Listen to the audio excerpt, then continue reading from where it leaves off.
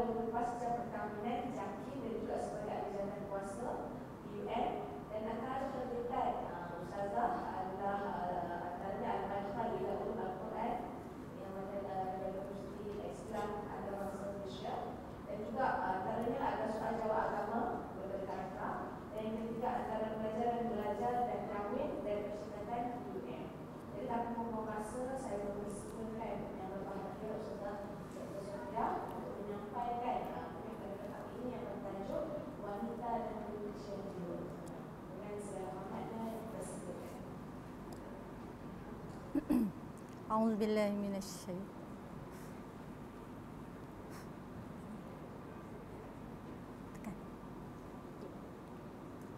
أعوذ بالله من الشيطان الرجيم. بسم الله الرحمن الرحيم. السلام عليكم ورحمة الله وبركاته. إن الحمد لله نحمده ونستعينه ونستهديه ونستغفره ونعوذ بالله من شرور أنفسنا ومن سيئات أعمالنا. من يهده الله فهو المهتد ومن يضلل فلن تجد له وليا مرشدا. نشهد أن لا إله إلا الله ونشهد أن محمدا عبده ورسوله.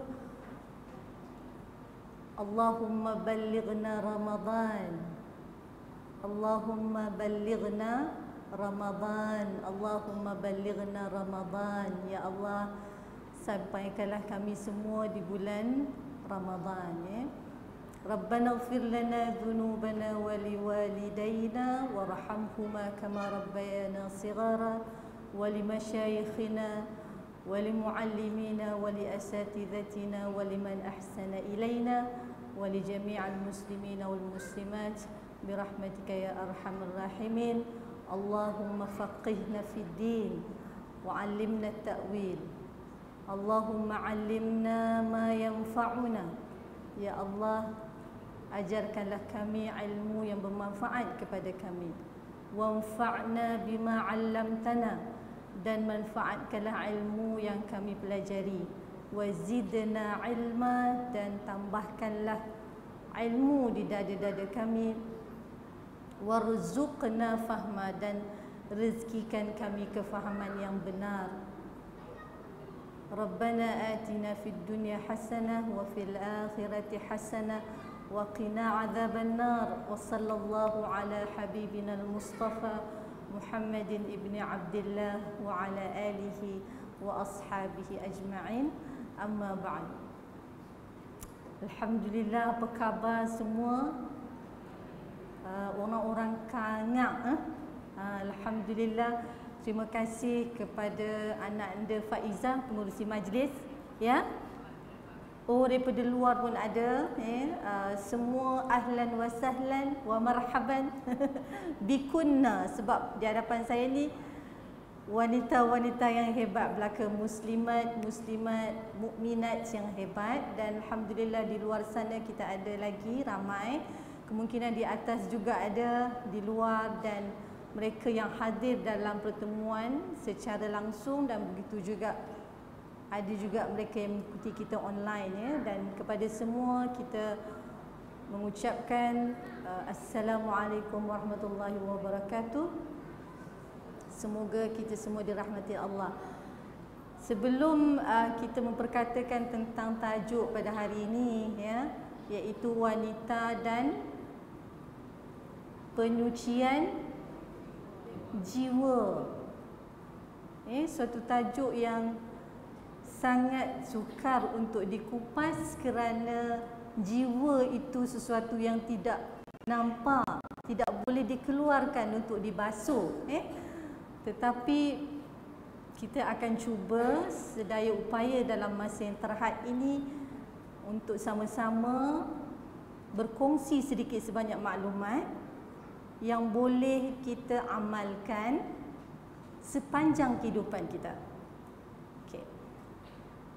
Dan saya ingin merakamkan berbanyak-banyak terima kasih kepada pihak Jabatan Mufti terutamanya sahibus samaha Profesor uh, Associate Professor panjang bila nak sebut eh Associate Professor Dr. Muhammad Asri bin Zainal Abidin dan semua warga Jabatan Mufti tidak saya lupakan kepada anak anda Ustaz Zulhelmi. Saya tak jumpa lagi hari ini, Ustaz. Kerana memberi peluang kepada saya untuk bersama-sama pada petang yang berbahagia ini. Kita berada di petang apa ya hari ini? Jumaat ya, selepas salat asar. Dan kita berada di rumah Allah. Jadi alhamdulillah kita masuk tadi dengan bismillah. Kita masuk tadi dengan Allahumma ftah abwab rahmatika. Allahumma ftah lana abwab rahmatik. Ya Allah bukakanlah kepada kami seluas-luasnya pintu rahmat iaitu kasih sayang. Eh kemudian kita mengucap salam kepada Nabi sallallahu alaihi wasallam Assalamu alayka ayyuhan nabiy wa rahmatullahi wa barakatuh. Kemudian selepas itu kita niat i'tikaf. Walaupun kita tidak melakukan salat tetapi sepanjang kita berada di dalam rumah Allah ini kita akan dikira dalam rangka beribadat kepada Allah Subhanahu wa taala cantiknya Islam itu ya cantiknya bagaimana kasih sayang Allah itu di gambarkan kepada kita, dipamerkan kepada kita, dijelmakan kepada kita. Subhanallah eh.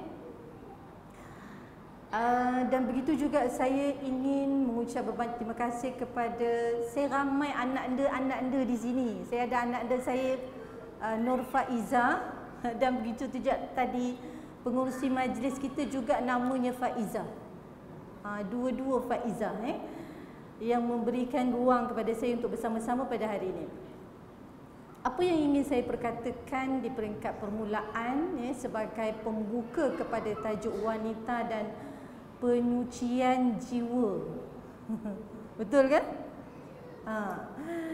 Um, ialah perkara yang bersifat dalaman iaitu saya datang dari Gombak asal orang Langgak bila sebut Langgak kena bunyi kedah lah eh? kalau orang Perlis pun lebih kurang macam kan? Alhamdulillah. Jadi saya datang daripada Gombak awal tadi bertolak daripada rumah pukul tujuh setengah um, berhenti sekejap uh, di Bukit Gantang dan terus sampai ke Kangar Perlis. Kangak lah orang kata kan, Kangak Perlis. Dan saya datang dari jauh, um, kemungkinan dalam perkongsian saya sebenarnya berdasarkan firman Allah Subhanahu wa taala di dalam surah Al-Jumuah. Kita hari ini ada di hari Jumaat kan? Ah, kita nak ambil sempena hari Jumaat ni dengan mengambil panduan Allah Subhanahu Wa Taala dalam surah Al-Jumuah ayat 2. Surah Al-Jumuah ayat 2. Nak menunjukkan bahawa saya sangat kerdil berada di sini ya untuk berkongsi sedikit sebanyak ilmu, untuk berkongsi sedikit sebanyak pengetahuan yang ada pada saya dan kemungkinan yang berada di hadapan saya ini asatiza, uh, profesor, uh, guru-guru, uh, para alim ulama eh dan insya-Allah sekiranya mereka dapati ada kesalahan dan kesilapan eh saya memohon agar kesilapan itu ditunjukkan kepada saya siapalah saya eh dalam kancah ilmu ini kita tidak um, sesayugianya membangga diri eh, kerana ilmu yang sebenar itu adalah milik Allah Subhanahu Wa Taala. Okey, balik kepada tadi saya janji surah apa tadi? Al-Jumu'ah ayat Alhamdulillah. Ayat dua yang berbunyi A'udzu billahi minasyaitonir rajim. هو الذي بعث في الأميين رسولا منهم هو الذي بعث في الأميين رسولا منهم يتلو عليهم آياته ويزكيهم ويعلمهم الكتاب والحكمة وإن كانوا من قبل لفي ضلال مبين dapat eh Dan ini ayat 2 dalam surah Al-Jumu'ah. Sebahagian daripada isi kandungan secara ringkas yang disebut oleh Allah di dalam ayat ini yang bermula dengan Allah menyebut dialah yang mengutus seorang rasul. Okey, siapa rasul itu? Nabi kita sallallahu alaihi wasallam dan rasul yang Allah utus itu kepada kaum yang kalau terjemahannya buta huruf yang kebanyakannya tidak tahu menulis dan tidak tahu membaca. Tapi bukan semua tak tahu menulis dan tak tahu membaca ya. Kebanyakannya. Tetapi alhamdulillah kita hari ini semuanya telah diberi nikmat oleh Allah dengan Islam itu eh dengan wahyu Al-Quran itu menjadikan kita tak tergolong dalam golongan buta huruf eh? jadi Allah Subhanahu Wa Taala mengutuskan rasul kepada kaum yang buta huruf dari kalangan mereka sendiri. Yang mana Allah sebut rasulam minhum. Rasul di kalangan mereka sendiri. Dan kenapa disebut di kalangan mereka sendiri? Di sini saya rasa suatu kekerdilan bila menyatakan seorang rasul itu diutus di kalangan mereka yang dikenali di kalangan kaumnya Eh, Nabi sallallahu alaihi wasallam diutuskan di kalangan orang-orang Quraisy dan mereka mengenali akan sifat-sifat Nabi sallallahu alaihi wasallam.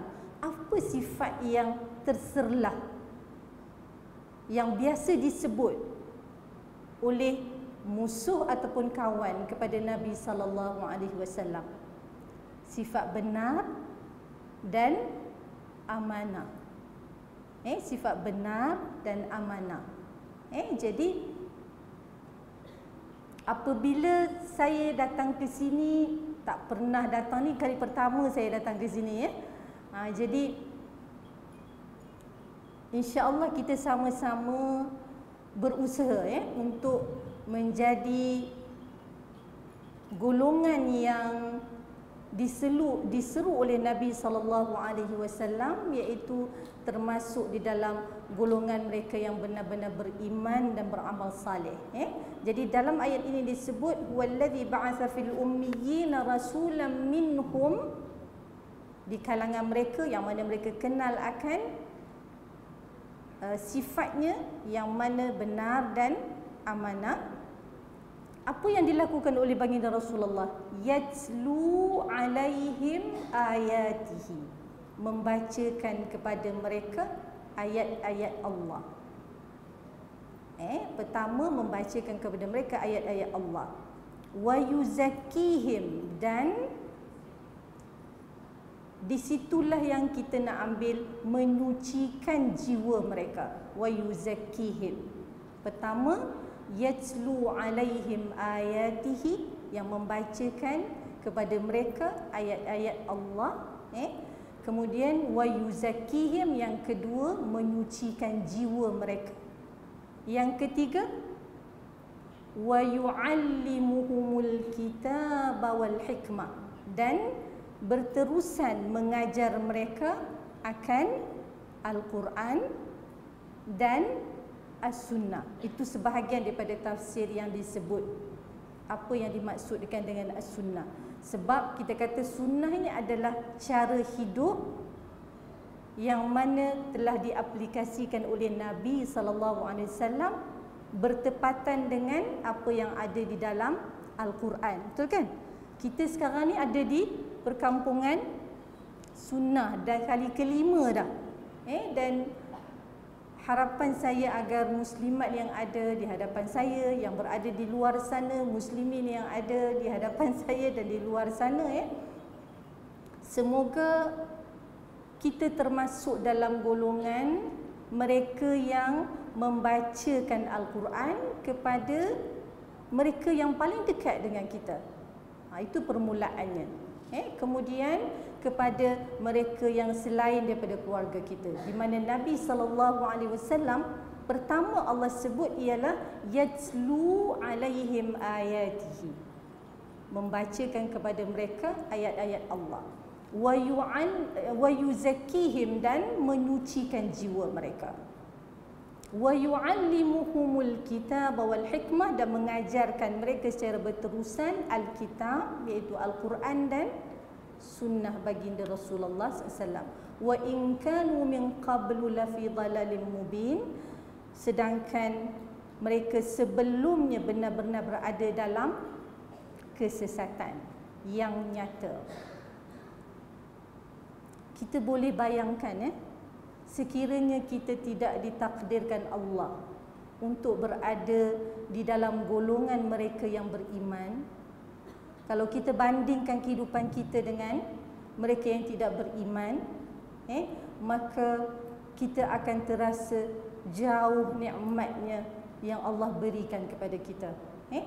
Jadi kalau begitulah perasaan kita tentang besarnya nikmat Allah itu maka nikmat yang ada pada kita ni kita nak kongsi dengan seramai mungkin mereka yang berada di luar sana eh kalau kita pergi ke pasar raya yang terdekat. Kat mana pasar raya terdekat kat sini?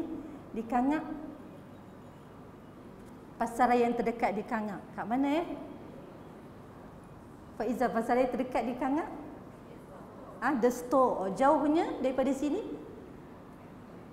Dekat je kan? Ah, dekat je. Kalau kita bandingkan kehadiran di pasar raya dengan kehadiran di majlis ilmu, eh? Berapa ramai? Yang mana lebih ramai? Di pasar raya. Kenapa? Kerana itu selari dengan kemahuan nafsu manusia. Kalau duduk dalam majlis ilmu kena perah otak.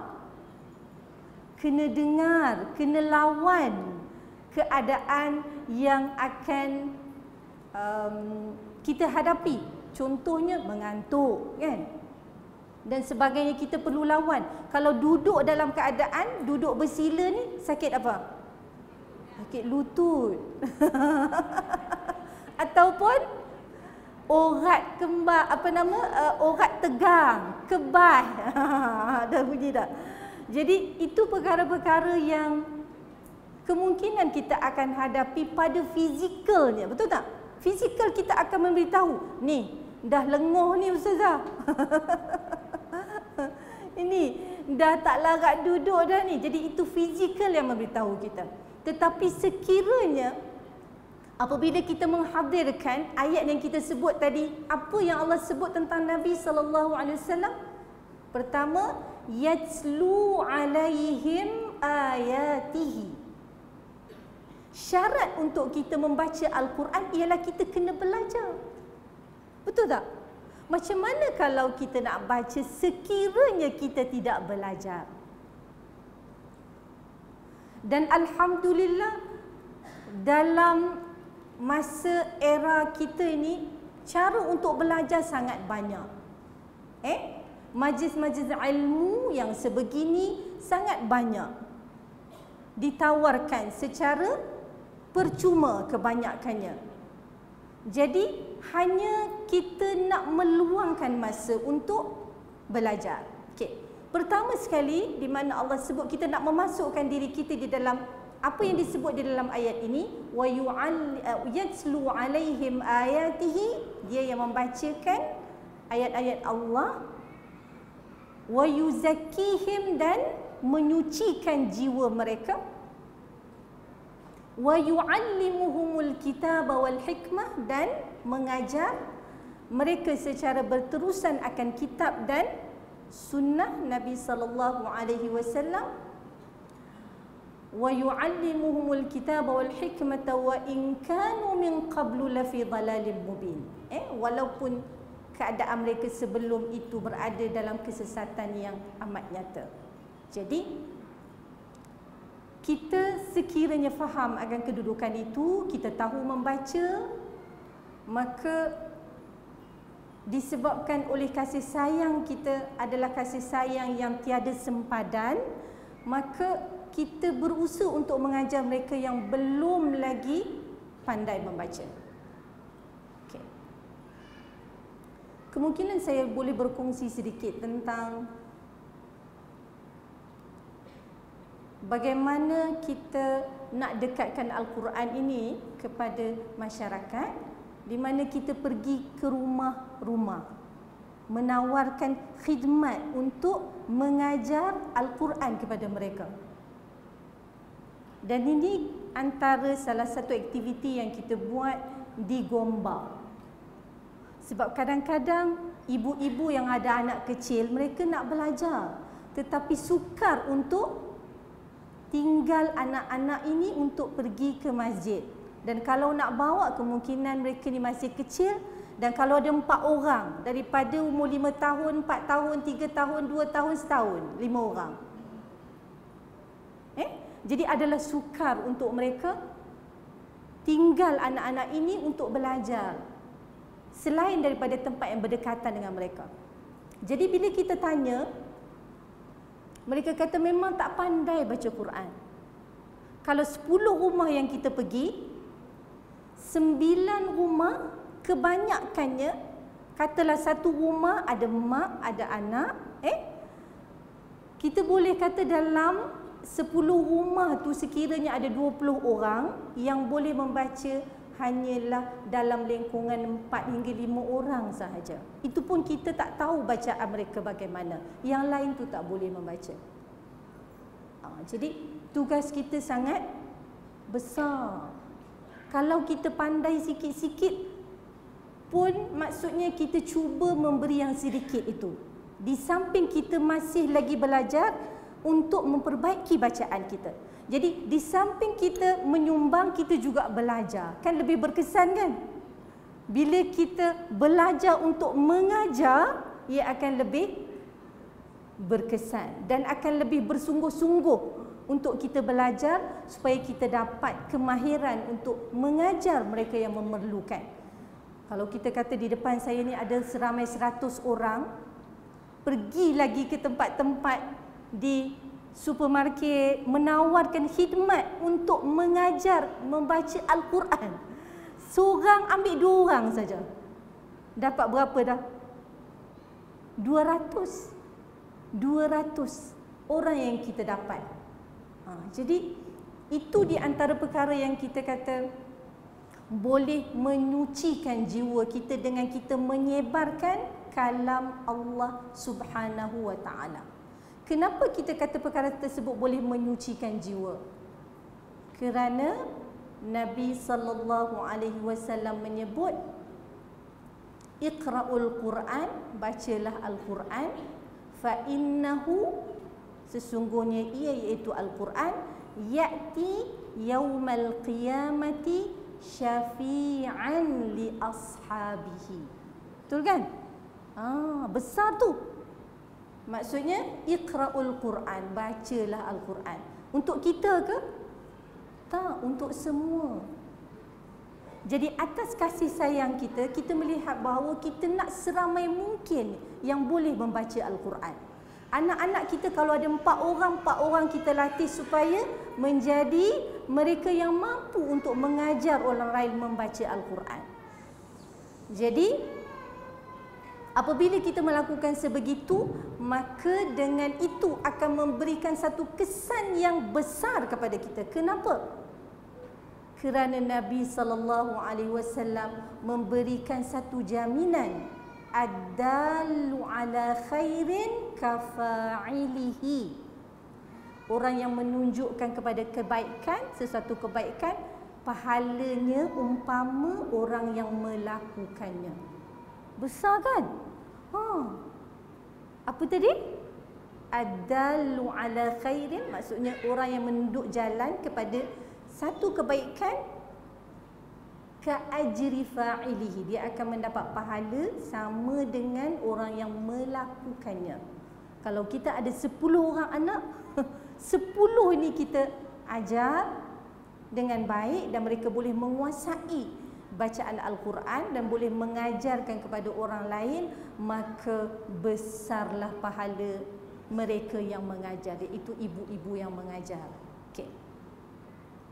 Jadi pertamanya kita kata itu antara usaha kita. Okey balik kepada wanita. Wanita ni siapa ya? Bukan lelaki lah kita lah wanita kan ha kalau kita tengok di dalam Al-Quran, eh, Allah Subhanahu Wa Taala menyebut tentang wanita dalam cara yang pelbagai. Okay, kemungkinan kita tak boleh nak bincangkan semua. Kita ambil nama surah sahaja. Okay, nama surah yang menunjukkan kepada wanita. Surah apa? Ah, subhanallah. Surah An-Nisa, surah wanita-wanita. Okey, surah apa lagi yang menceritakan tentang wanita? Maryam satu nama yang hebat. Ia adalah seorang wanita. Okey selain daripada Maryam surah? Al-Mujadilah. Kan? Betul tak? Pernah dengar? Ah surah dalam juzuk 28 kan? Okey apa maksud Al-Mujadilah? Orang seorang wanita yang sangat prihatin tentang hukum hakam agama. Takut melanggar perintah Allah dan Rasulnya. Maka apabila berlaku suatu perkara dalam rumah tangganya di mana suaminya telah menziharkannya, menyamakan dirinya dengan ibu kepada suaminya, maka wanita ini telah pergi berjumpa dengan Nabi sallallahu alaihi wasallam mengadu. Kenapa dia pergi? Kerana kesedarannya yang tinggi untuk mengikut perintah Allah dan taat kepada perintah Nabi sallallahu alaihi wasallam. Okey, saya nak ucapkan syabas kepada semua muslimat, muslimin yang datang daripada Kangak, yang datang daripada luar. Saya difahamkan ada yang datang daripada Singapura, betul eh? Alhamdulillah ada yang datang daripada Indonesia eh? ada yang datang daripada tempat-tempat lain selain tadi saya jumpa ada seorang datang daripada Kuala Lumpur PJ jadi saya nak mengucapkan tahniah kepada semua wanita yang bersemangat tinggi untuk menimba ilmu pengetahuan. Sebagaimana yang ditunjukkan oleh Sri Kandi yang kita sebut tadi, yang mana surah ini dinamakan dengan Al-Mujadilah. Wanita yang sangat prihatin untuk mengetahui tentang hukum hakam agamanya supaya dia hidup selari dengan kehendak Allah dan kehendak rasulnya. Okey, macam mana kita nak ikut? Kalau kita nak ikut maksudnya kita kena juga ada semangat yang tinggi untuk belajar dan bertanya, betul tak? Sekiranya kita tidak mengetahui tentang sesuatu perkara sama ada ia dibenarkan ataupun tidak maka alhamdulillah sekarang ini kita ada ramai ulama alim ulama yang boleh menjelaskan kedudukan sebenar kepada perkara yang kita sangsikan. Jangan malu. Kalau sahabat dulu pun mereka sangat um, begitu prihatin eh, dalam berusaha mempelajari ilmu, mengetahui tentang hukum hakam supaya tidak melanggar perintah Allah dan melanggar perintah Rasul sallallahu alaihi wasallam. Okey. Selain daripada Al-Mujadilah kita ada Al-Mumtahana. Wanita-wanita yang berhijrah daripada Mekah ke Madinah. Yang mana mereka sanggup meninggalkan Mekah kerana menyelamatkan akidah. Mereka telah beriman maka mereka berhijrah daripada Mekah ke Madinah dan apabila sampai di Madinah maka keimanan mereka ini diuji betul-betul tak mereka beriman kepada Allah Subhanahu wa taala. So itu kita tengok perjalanan untuk membuktikan keimanan bukan satu perjalanan yang mudah. Kita kalau belum pergi ke Mekah dan Madinah mungkin boleh Google kan tengok jauh berapa jauh antara Mekah dan Madinah. Kalau kita naik bas perlu 8 jam. Kan? Itu perjalanan waktu malam. Itu perjalanan menaiki bas yang berhawa dingin. Kalau dulu mereka tak berjalan dengan bas dan tidak berhawa dingin. Mereka berjalan sama ada menunggang unta ataupun menunggang kuda yang itu sangat jarang ataupun berjalan kaki. Tetapi kerana keimanan mereka sanggup untuk merentas perjalanan yang jauh dan sukar semata-mata untuk mendapat redha Allah Subhanahu wa taala. Apa kaitan menuntut ilmu dengan penyucian diri?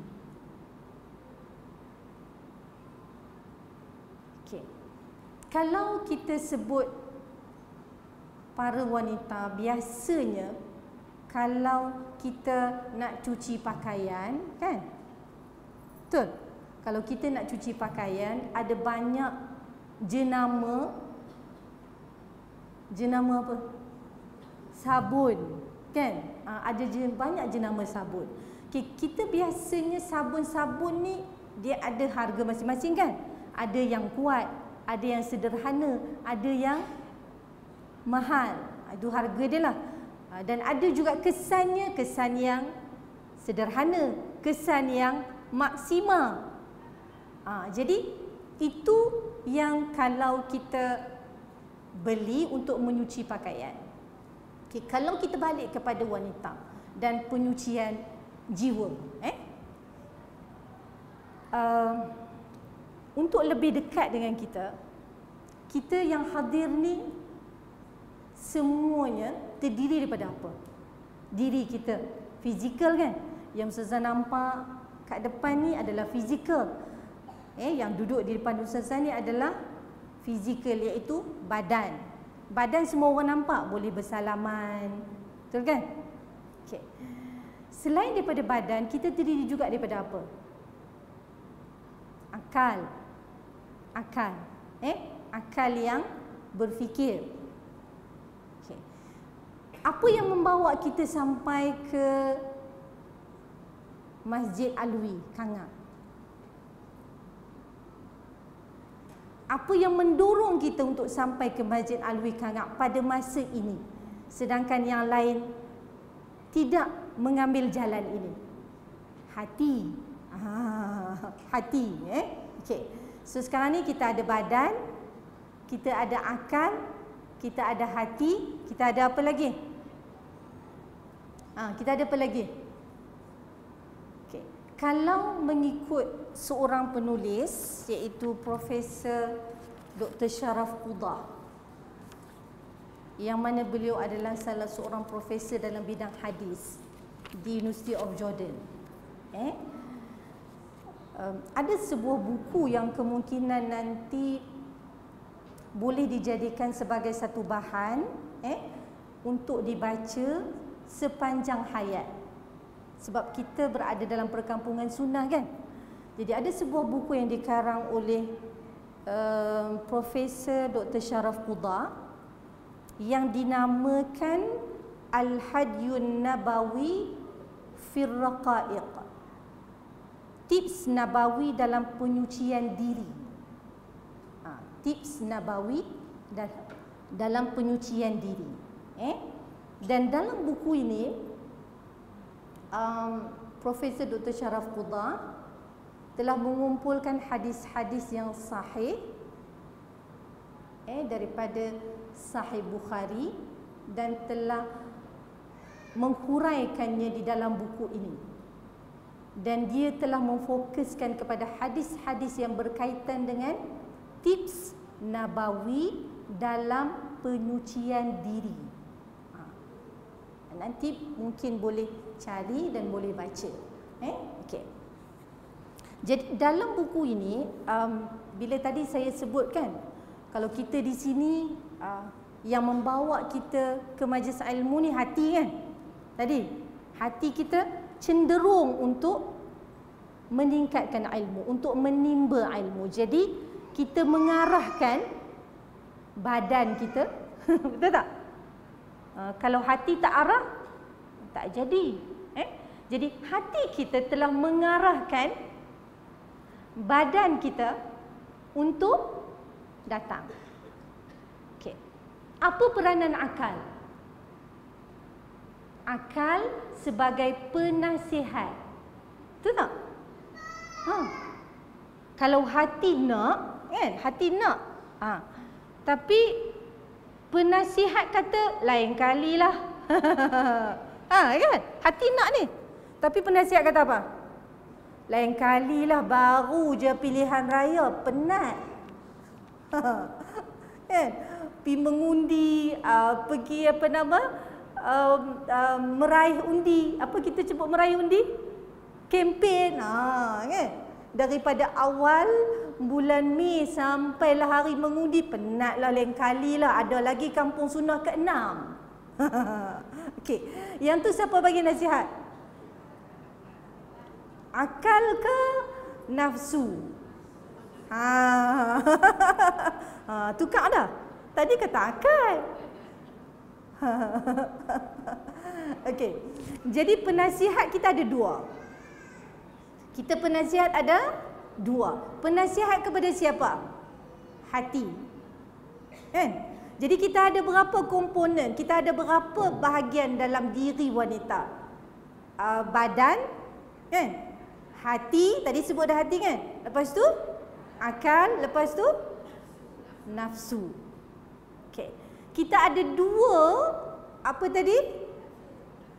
Yang memberi nasihat. Ha. Kalau dalam bahasa Arab dipanggil mustasyar.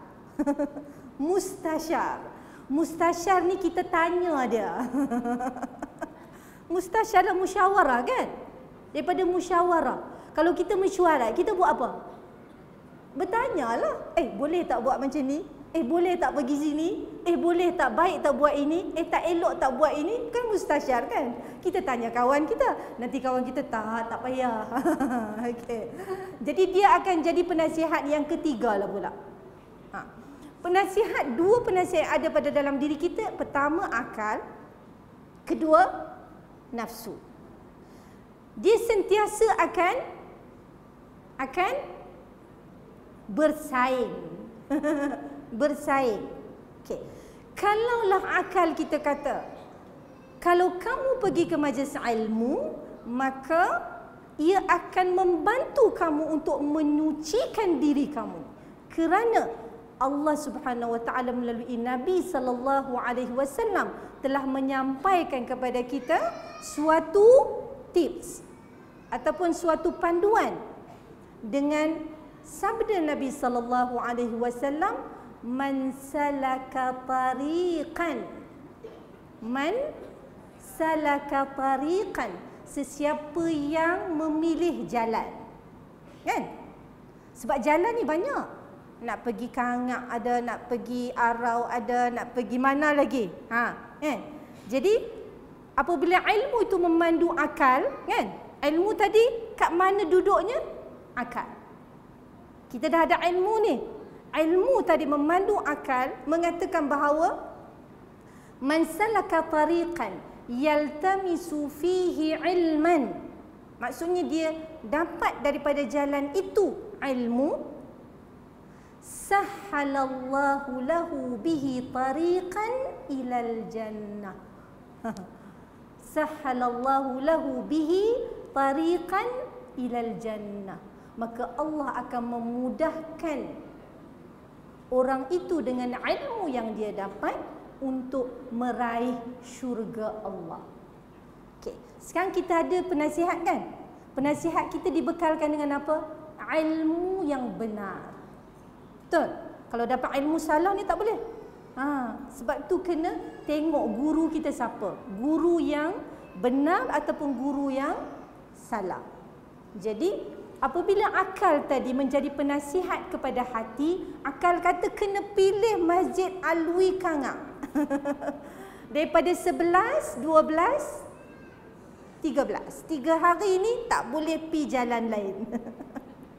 Siapa yang bagi nasihat? Akal. Kenapa akal boleh bagi nasihat begitu? Kerana akal dibekalkan dengan ilmu. Jadi al-ilmu nurun. Betul? Ha, ilmu tu cahaya. Memberi kehidupan kepada jiwa dan memberi kehidupan kepada kehidupan sebenar kita. Okey.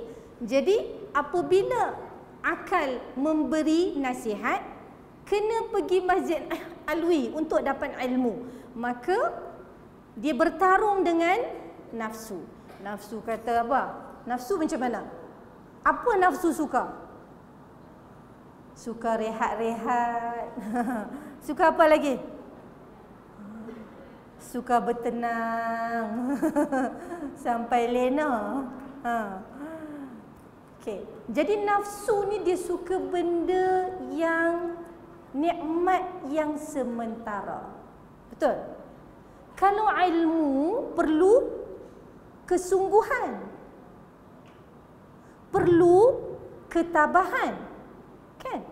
Perlu banyak perkara yang diperlukan sekiranya dia memilih jalan ilmu. Tetapi walaupun sukar hasilnya lumayan. walaupun sukar hasilnya lumayan.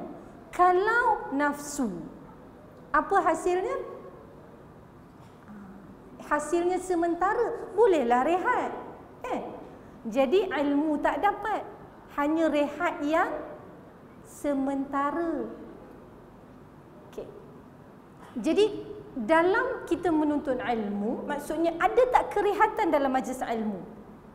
Ada. Ada kerihatan dalam majlis ilmu. Kerana apabila ilmu itu disuluh, akal itu disuluh dengan ilmu, maka tindakan kita akan terpandu oleh ilmu. Maka akhirnya kebahagiaanlah yang didapati oleh mereka yang menuntut ilmu. Sebab itulah Nabi sallallahu alaihi wasallam di dalam hadis tadi menyebutkan apa? Sahhalallahu lahu bihi tariqan ilal jannah. Maksudnya dengan ilmu tadi maka Allah memudahkan ia untuk meraih syurga Allah. Mana yang nikmat? Rehat tadi ke? Sementara. Kan? Mana yang kekal? Syurga Allah. Jadi sekiranya akal yang merupakan penasihat kepada hati memberi nasihat dan dia tidak kalah dengan nafsu maka hati akan cenderung kepada akal yang disulami dengan ilmu maka sampailah kita di Masjid Alwi hari ini. Ha. Berapa ramai lagi kalau kita telefon? Ai, tak dengar ke perkampungan sunnah? Cuba telefon. Kawan-kawan kita yang tak main. Cuba telefon. Dengar tak perkampungan sunnah? Dengar. Lepas tu awak tak main. Apa jawab? Sibuk ni, letih ni. sibuk apa? Mula dia garuk kepala, sibuk apa tau? Ha. Kan? Okay, kalau dia kata letih, letih apa kita tanya? Kan? Bukankah uh, kita mengundi bila? Letih pasal apa? Bukan kita jadi calon. kan kita jadi calon? Ha. Kita jadi pengundi je. Mungkin beratuk lah lama sikit betul tak? Beratuk berapa lama? Sat saja sampai dua jam ke beratuk? Apa tu letih di mana? Ha, lepas tu kalah nafsu. Sebab nafsu tak boleh jawab. Ha, kalau tak boleh jawab kena mai kampung sunnah abang kat depa. Dan nafsu tak boleh jawab kan? Dah kalau tak boleh jawab kalah kena akur kepada akal yang disulami ilmu. Betul tak? Ha, jadi apabila Profesor Dr. Sharaf Qudha menyebut akan perkara ini, kita ada fizikal. Fizikal tak akan sampai kalau hati tak ajak. Hati tak akan ada kekuatan kalau penasihat dia tak betul. kalau kita tanya, ada hati tak nak main perkampungan sunnah? Memang nak main. ha, betul tak? Cuba sekejap lagi lepas pukul 6, telefon. Ada kawan kan? Kawan seorang ke ramai? Ramai. Cuba telefon tiga orang je korang-korang. Hak tak mai lah. Tanya. ha? Oh tak ada di sini, ada di overseas. Ah, tak apalah. Kan? Okey, kalau ada di sini, kita kata jomlah. Kalau tak semua pun mai lah. Satu, dua, tiga. Kuliah kan? Sekurang-kurangnya tak dapat semua, dapat sikit. Ha, taklah tinggal semua, betul tak? Cuba kita tengok dalam agenda perkampungan sunnah lima. Berapa banyak majlis ilmu ada? Pagi ada, tengah hari ada. Waktu zuhur tadi dah ada khutbah Jumaat kan? Kalau kita tak semayang, kita duduk je di luar tu ada kerusi dengan kipas angin semua sekali. Betul tak? Apa lagi alasan? Ha, masa itulah dek kerana akal itu ditunjangi dengan ilmu maka dia akan berkonfrontasi dengan nafsu. Tahu tak konfrontasi? Apa dia? Ha, berdialog kan? Maksudnya berlawan lah. Hai, apa nak duduk diam-diam ni? Bukan ada apa pun. Awak letih mana? Siapa kata? Penasihat pertama iaitu akal. Kalau akal sudah menang, maka nafsu perlu akur kepada hati. Siapa raja? Nafsu ke hati? Hati. Hati yang raja. Sebab itu kita selalu dengar kan? wa fil jasadi mudghah kan? Ala wa inna fil jasadi mudghah. Satu ketul daging. Yang sebesar daging yang boleh digigit. Nah, mudghah. Kalau mudghah tu orang kata jantung kita sebesar penumbuk kita kan? Cuba angkat penumbuk tengok. Ha. cuba tak aja ni betul ya kau saya pun tak tahu ada orang kata jantung kita sebesar ni ha, kalau uh, apa nama uh, muslimat kita sebesar kalau ustazah kecil lah kan tangan kecil kan jantung pun kecil lah jadi kalau badan kecil, kemudian penumbuk tu besar, ah, tak tahulah jadi macam mana. Sebab dah tangan berisi, jadi besar lah. Tapi orang pun besar jugalah. Ha, ha. Takkan penumbuk besar orang kecil? Ada? Ha, lainlah pula. Eh? Okay. Kita balik kepada yang tadi. Kita sebut tadi apa? Badan. Badan kita hadir di sini kenapa? Kerana dia akur kepada arahan hati. Hati tu raja. Okey. Kenapa hati boleh memberi arahan kepada badan? Kerana penasihatnya ada dua. Pertama, akal. Yang ditunjangi dengan ilmu yang sahih. Sebab itu dalam belajar ilmu, kita kena ambil resepi Nabi Musa alaihi salam dengan Khidir. Kan? yang kita baca setiap Jumaat kita baca surah Al-Kahfi. Betul kan? Okey. Apa syarat pertama? Syarat pertama mestilah guru yang benar-benar menguasai akan ilmunya. Betul? Ha.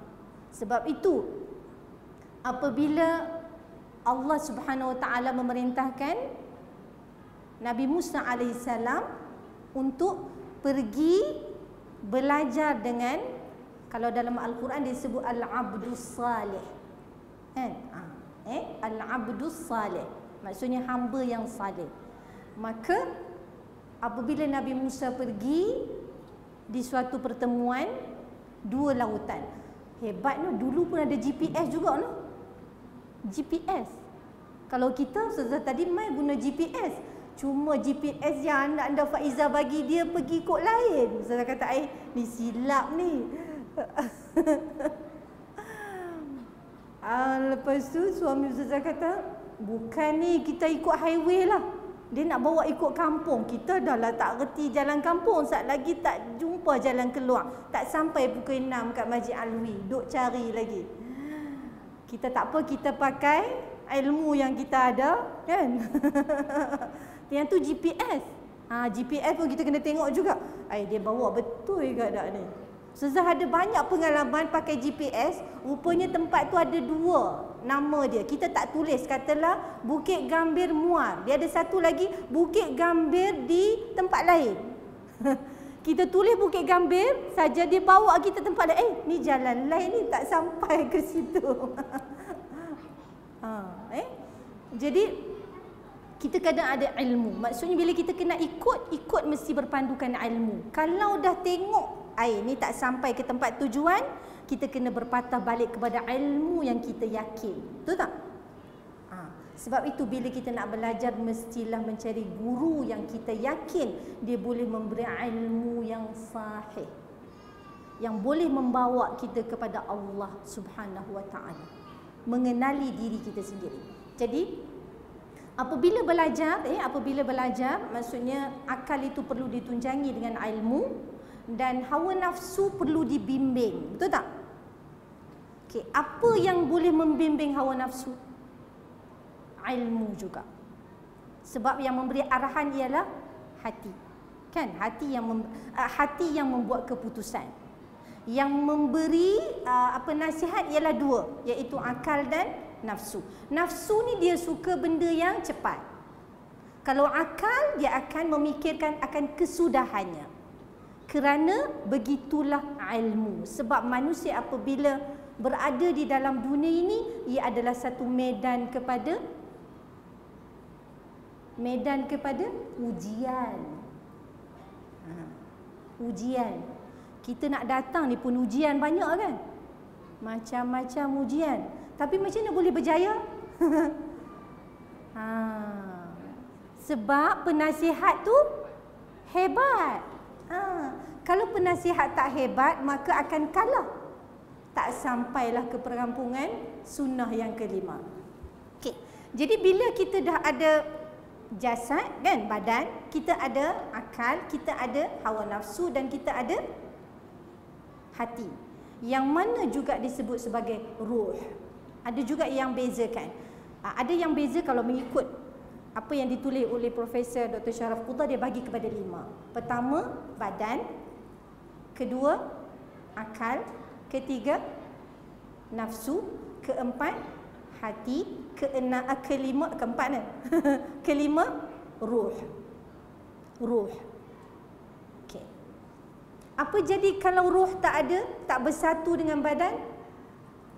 Inna lillahi wa inna ilaihi raji'un. Tak sampailah ke Masjid Alwi. ha, eh? Okey, kalaulah badan berpisah dengan ruh.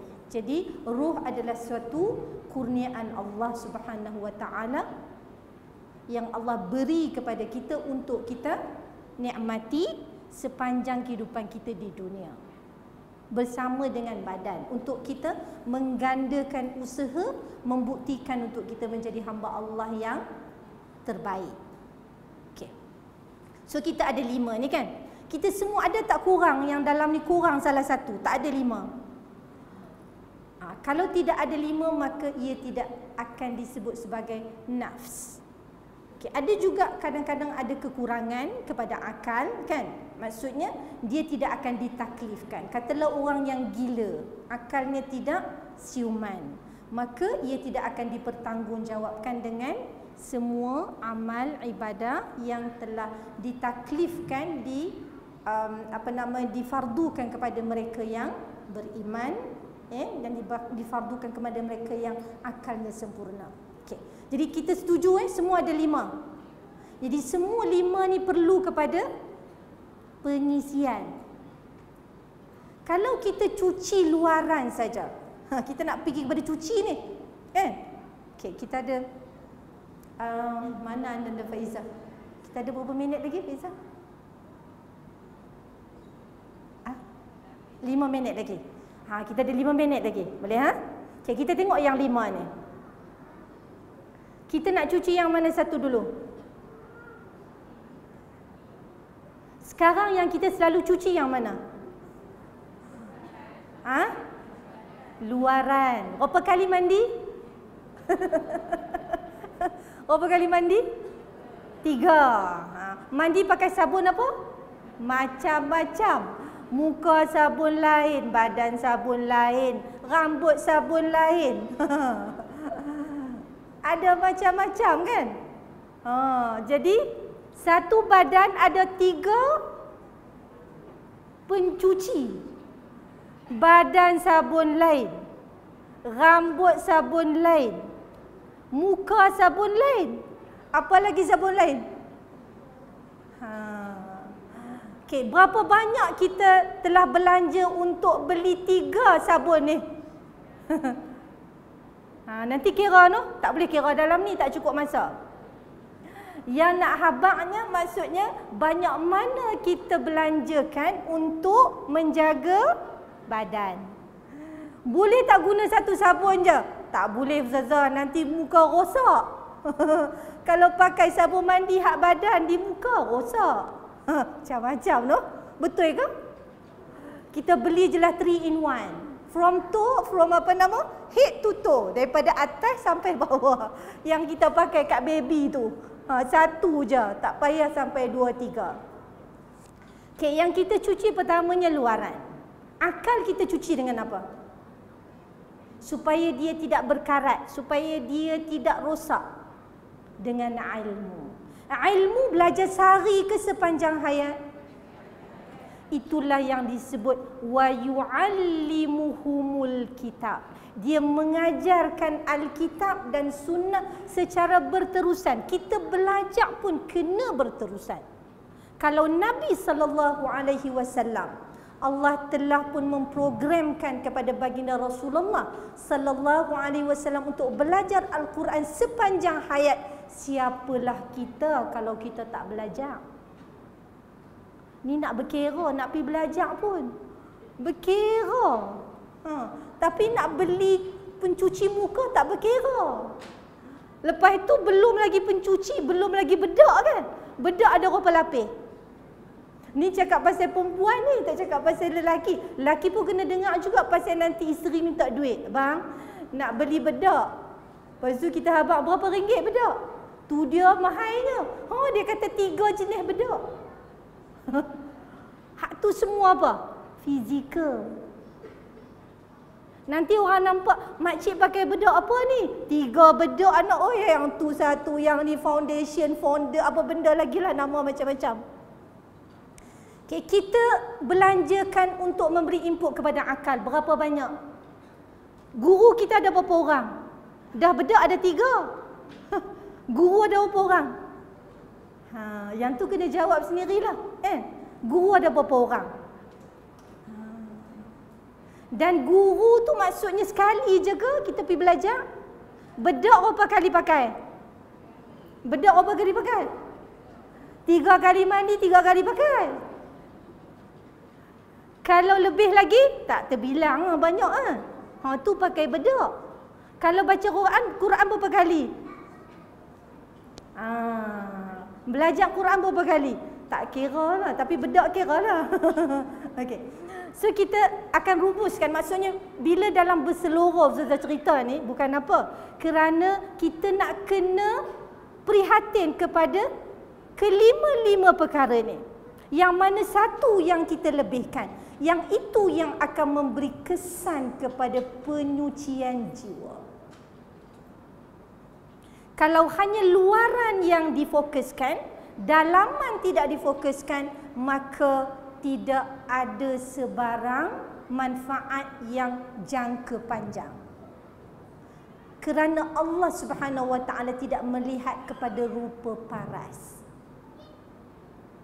Inna Allah la yanzuru ila suwarikum wala ila ajsadikum walakin Allah yanzuru ila qulubikum wa a'malikum tetapi Allah Maksudnya Allah tidak melihat kepada luaran.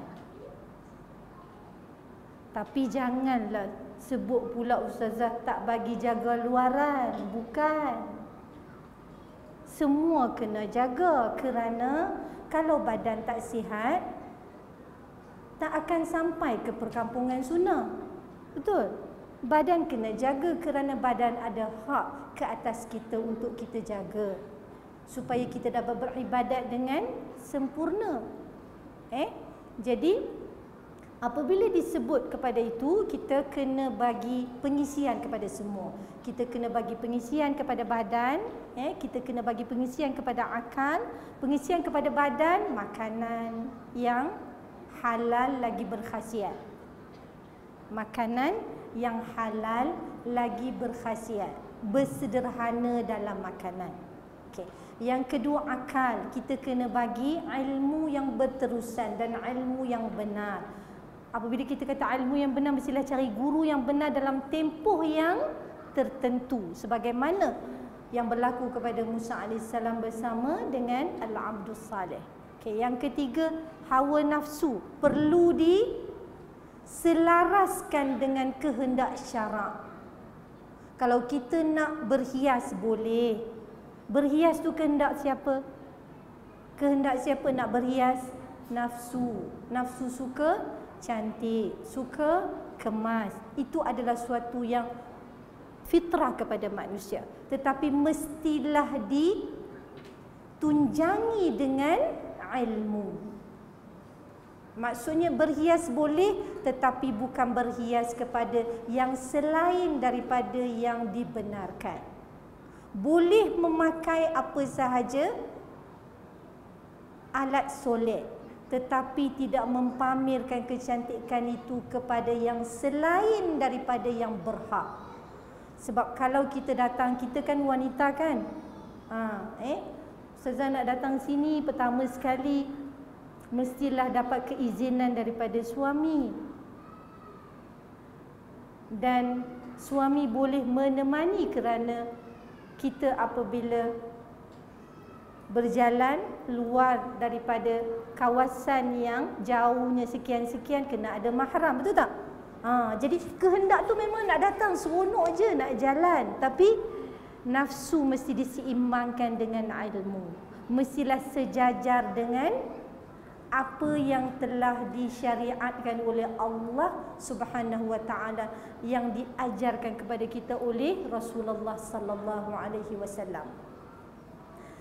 Dan ada sebuah hadis di mana Nabi sallallahu alaihi wasallam bersabda La yu'minu ahadukum Tidak sempurna iman seseorang kamu Hatta sehingga Yakuna hawahu hawa nafsu dia, kehendak dia tabi'an mengikut lima jitu bihi. Okay. La yu'minu ahadukum hatta yakuna hawahu tabi'an lima jitu bihi. Tidak sempurna keimanan seseorang kamu sehinggalah hawa nafsunya selari tak boleh juga kalau tak ada hawa nafsu, tak ada kehendak. Kan nanti orang tanya, nak pergi tak? tak ada kehendak, tak ada kemahuan, tak boleh juga. Tetapi kemahuan itu perlulah selari dengan apa yang digariskan oleh syarak. Yang disebut di dalam hadis itu eh, tadi dalam hadis tadi mestilah selari dengan apa yang dibawa oleh baginda Nabi sallallahu alaihi wasallam. Sebab itulah kita berada di perkampungan sunnah eh, supaya kelima-lima elemen ini pertama sekali badan, kedua akal, ketiga nafsu, keempat tadi eh, hati dan kelima ruh. Eh. Ruh ini adalah suatu kurniaan Allah Subhanahu wa taala dan Allah akan mengambil bila-bila masa. Selagi mana ruh itu dikandung badan, eh, maka kita perlu menggunakan dengan sebaik mungkin sebelum tamat tempoh. Okay. Uh, akhir sekali saya nak bagi beberapa kaedah yang ditunjukkan oleh Al-Imam Al-Ghazali dan telah diringkaskan oleh Said Hawa. Ringkasan kepada Ihya Ulumuddin yang dinamakan kitab Tazkiyatun Nafs. Ada dalam bahasa Melayu ada dalam PDF pun. Nanti boleh rujuk. Uh, ia memberikan kita tiga T. Ha, ni habis dah ni. Uh, Faiza dah habis. Tiga T. Untuk kita berterusan dalam memastikan diri kita hidup selari dengan syariat Allah Subhanahu wa taala. T yang pertama ta'lim. Apa? Ta'lim belajar. Ta'lim, belajar. Okey. T yang kedua, tazkir, ingat. Sebab bila kita belajar, nanti bila keluar saja daripada masjid ni ingat lagi tak?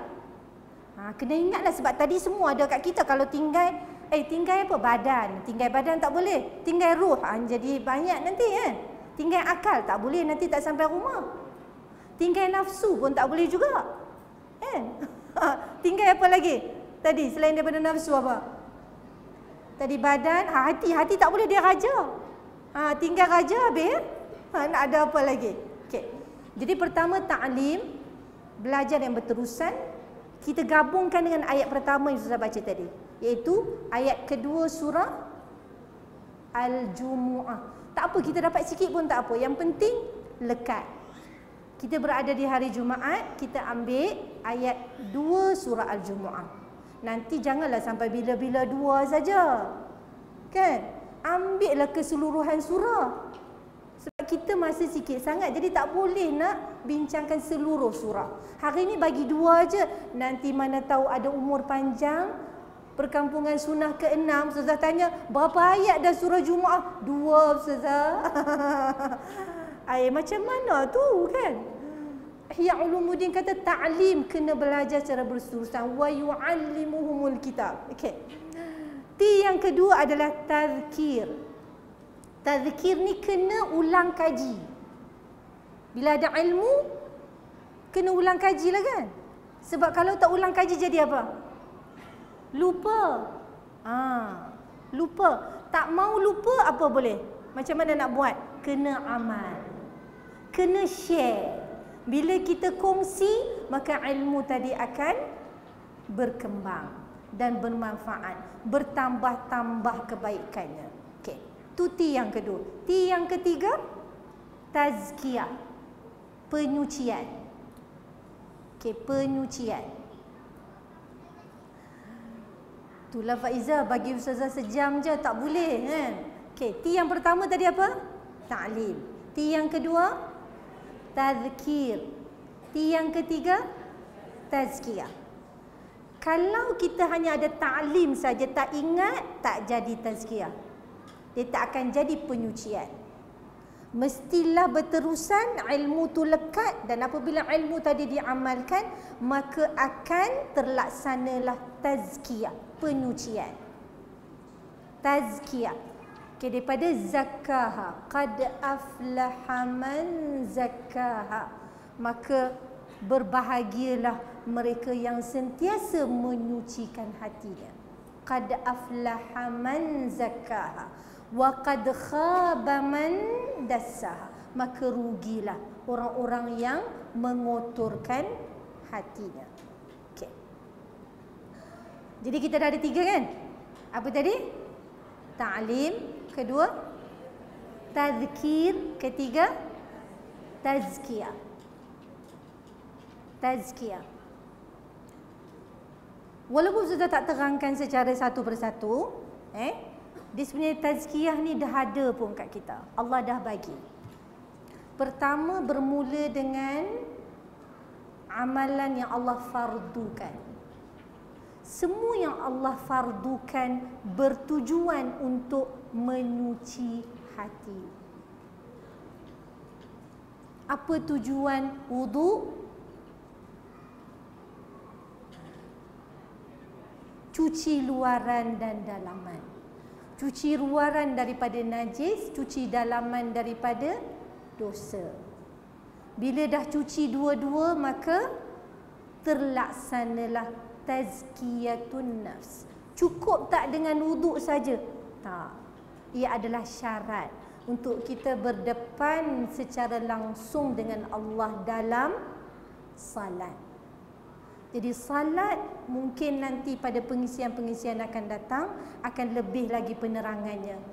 Sebenarnya semua yang Allah fardukan sudah pun cukup untuk menyuci hati kita sehinggalah kita sampai kepada kemuncak kepada penyucian itu di mana Allah Subhanahu wa taala menyebut ya ayyatuhan nafsul mutmainnah. Wahai jiwa-jiwa yang tenang. Tenang kenapa?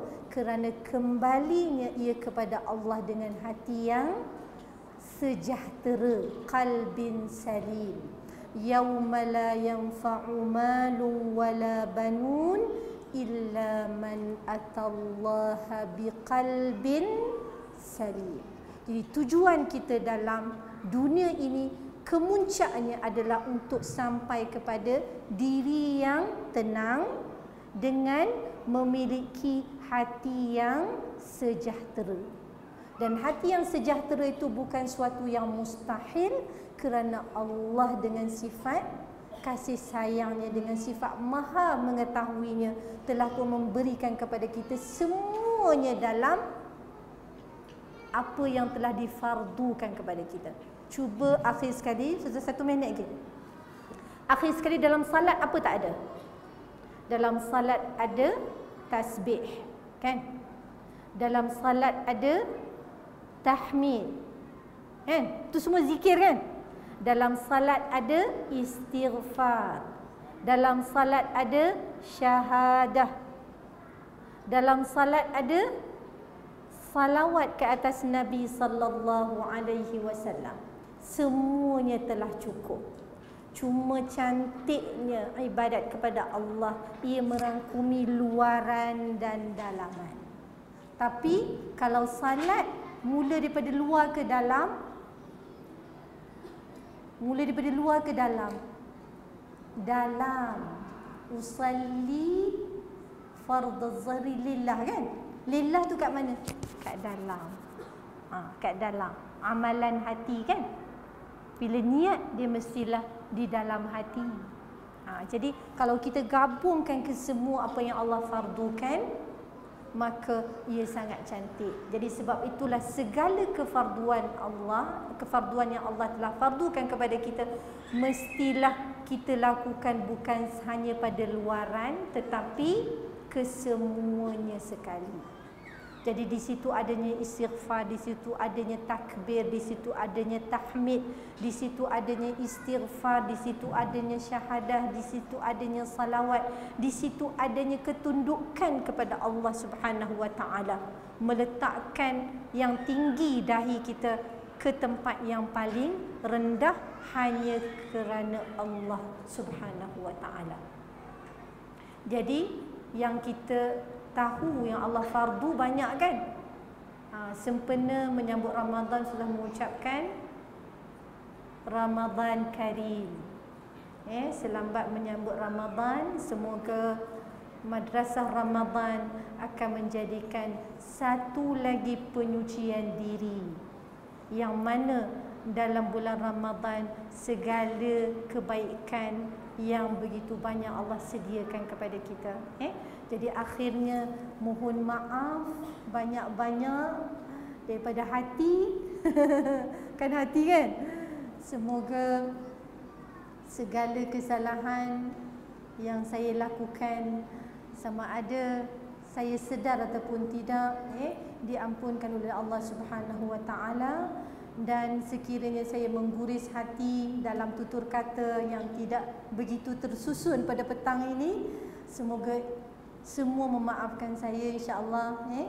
Dan sekiranya ada rezeki kita berjumpa lagi pada masa-masa yang akan datang. Sekali lagi saya mengucapkan terima kasih kepada pihak penganjur. Aqulu qawli hadha wa astaghfirullahal azim li wa lakum wa lisairil muslimin wal muslimat. Birahmatika ya arhamar rahimin. Walhamdulillahi rabbil alamin. Wassalamu alaikum warahmatullahi wabarakatuh